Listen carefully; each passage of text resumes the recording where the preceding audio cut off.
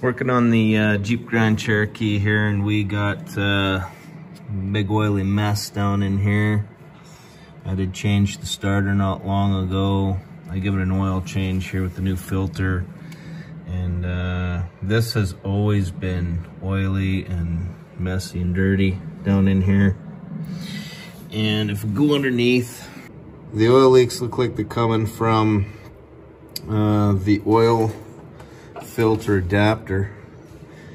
And it is getting onto the starter here and running down off of the end of the bell housing. And also uh, if you followed it I've I've done some wiping down here but it looked like it just followed all the way down the passenger side of the frame.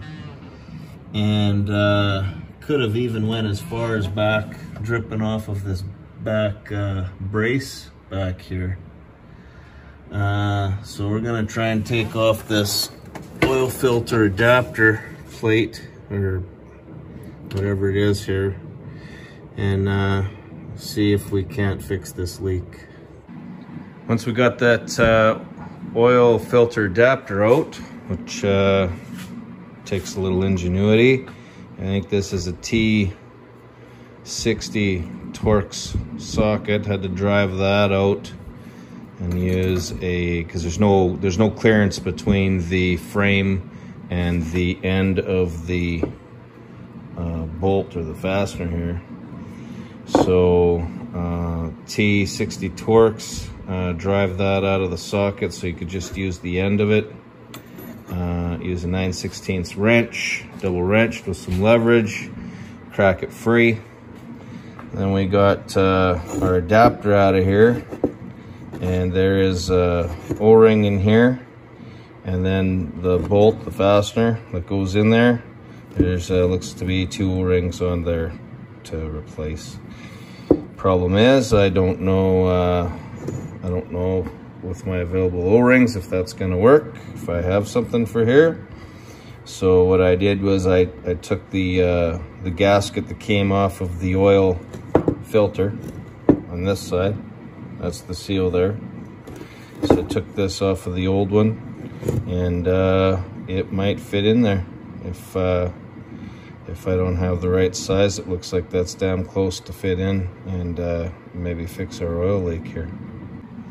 I was able to find uh, some O-rings here for the uh, fastener to replace. Hopefully that'll seal. This will be the important one on the end here to seal it from where it was leaking up the end. And uh, that oil filter gasket, I tried to I tried to put that in there. It's awfully close to the right diameter, but it's just too large, won't fit in there. So I just took some uh, RTV sealant and uh, put it in there with the old gasket and hopefully that'll that'll get me by until I try and find the right one and, and uh, maybe fix that later. And the other thing that I did was uh, that Torx bit that uh, went in the end there. I didn't, uh, I mean, this is pretty oddball uh, tool that you'd be using.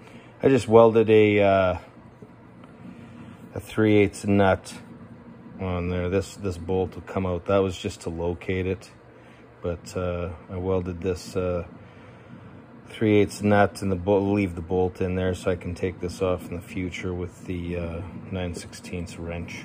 We try and clean it up as good as we can there and and uh, reinstall this thing. There's there's a pin there's a pin right here and that locates that pin uh, locates the orientation will be kind of similar to this here uh, the pins at the top and that's going to locate it uh, the position properly when you install it. Here we are with the uh, finished result and uh, you see where I've welded that 3 8 nut on there. Uh, ease of uh, removal and installation in the future. Now all you need is a 9 16 wrench instead of a T60 Torx and uh, any other Razmajazz. So we'll see we'll see how that works, but I do believe you can see my silicone there.